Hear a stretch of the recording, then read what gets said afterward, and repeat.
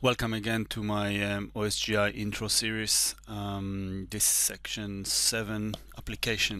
In this last video we will create an application based on enRoute template with a web and RESTful API. Uh, we will package our application and run it as external jar. We will look into what happens to component in runtime and how OSGI is handling the changes. So let's get started. We covered quite a lot in our um, demo series so far. So what's left is putting everything together into an application. Um, an application is um, runnable unit that you can run independently outside of this um, development studio. So let's get started. So according to the enRoute, uh, we need to create a package with application suffix and that will set up a template for everything we need. Uh, if we look inside we get um, a website template that we can use with Angular and Bootstrap, some static content that's our application itself and we get um, RESTful API implementation in the form of this class here, which is deployed as a component, which is exposed a RESTful API. There's some um, documentation about that. Um, what this is basically saying that there is a get um, REST method on this URL, and we'll look where the URL is, uh, which accept a string and um, change it to uppercase. So we'll exploit that, and we're gonna create our um, application implementation into this um, uh, deployable class. So if you read the documentation uh, on the tutorial, uh, you can get some more information uh, about this template and and for now we're just going to fix a few things and we're going to run the um, the application. So the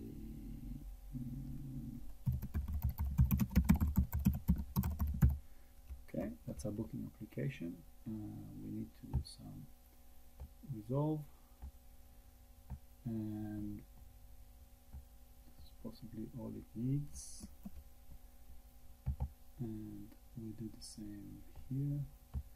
Now we get an application and we can run this. So we're running the BND run file. Uh, you can see that port 8080 is now open and we go to index we get access to that application on and we can do what the application says. We can go to uppercase to Gadi and we get Gadi to uppercase we do it again. So uh, looking and we get the application. So the application is working and we can start uh, wiring everything together. So if you remember, we have a booking service and we want to use the booking service in OSGI context. So to do that, we can go into our BND and we can say on the build path, we want to add our API so we can consume it. Um, and save it. Uh, and now from our booking we can just directly say reference. Um, void? Sorry. Uh, booking. Booking. This booking is booking API and this should come with an error of course because if you remember um, we need to resolve that to an actual service. So we want to use the provider to provide that service. And we save.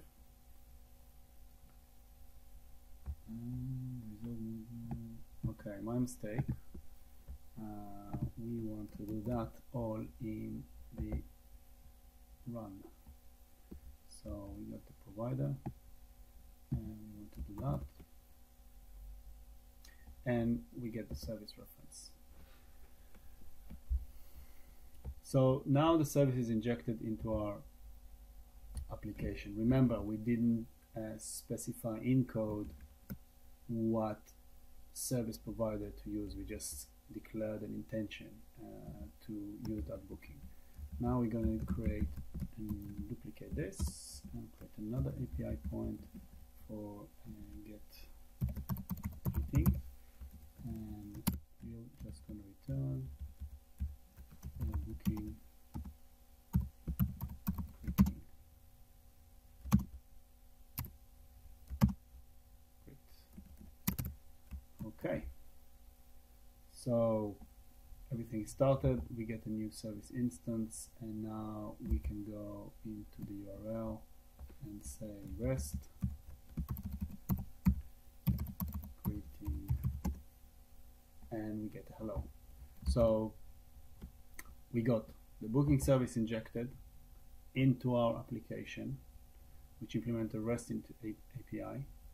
We then said, okay, we have another REST point for um, the greeting and calling that we'll call the booking service and call the met greet method on that booking and return the results so let's try something interesting um, first of all I want to see what actually get injected because I want to see the class. So I'm gonna do a little refactoring here.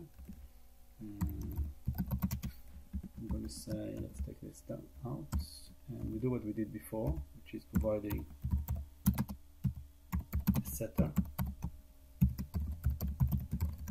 So we can see what's injected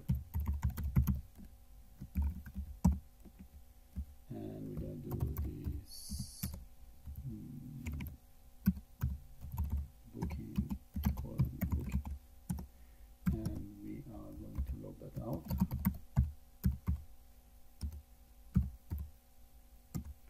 and we're going to give it the booking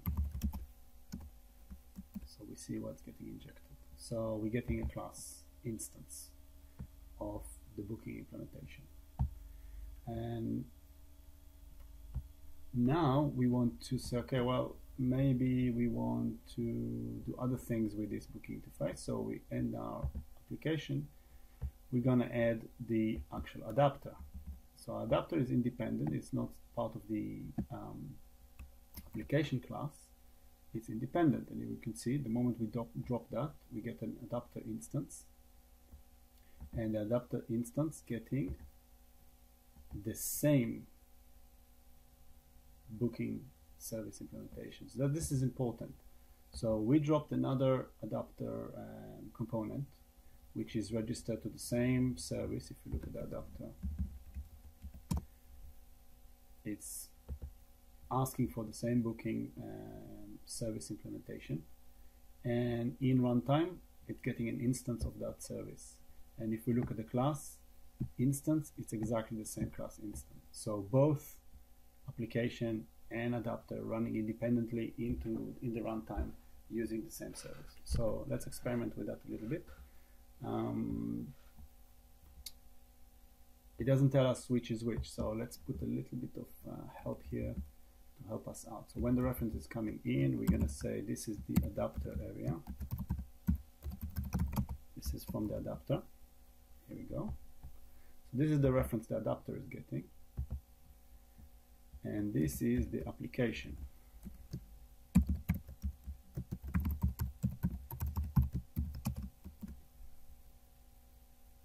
So notice what happened here.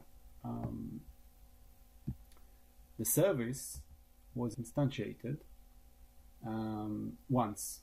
There is no other reference in runtime. We were working with the adapter and every time we stopped and uh, compiled and make a change to the code we got a new uh, instance of the adapter but the booking implementation stayed the same. It's the same reference. Still we are using the same reference. Now when we looked at the um, adapter for the application the application start and stopped stopped and start um, and we still get the same service reference. Now let's go and change the service in the provider. And let's make a change here. Let's say we're not returning hello and hello you. Now what we're getting is we're creating a new instance there's a new instance and both application and adapter being uh, refreshed with the new service. So this is one of uh, my top favorite really. So we have a runtime. Uh, the runtime is running all the time. Every time we make a change to one of those jars it's independently creating a component, independently stopping the run the component in runtime and deploying a new version of it and starting it and doing all the wiring between all the services and all the components so everything getting the, being refreshed but only what has changed so if there was another service that didn't change the wiring will stay the same if we change just the provider uh, everything that links to that provider is be, being refreshed with the new service. If we only change the adapter, only that adapter is getting an instance or being stopped and start. But if the service that it's registered to hasn't changed, we're getting the same reference. So this is this is quite powerful. So in our application, we wrote just a tiny bit of code here to wrap it up. Now we can go into our um, in the run file and we're going to export that uh, we're going to stop here and we're going to do export so so far we were just building stuff okay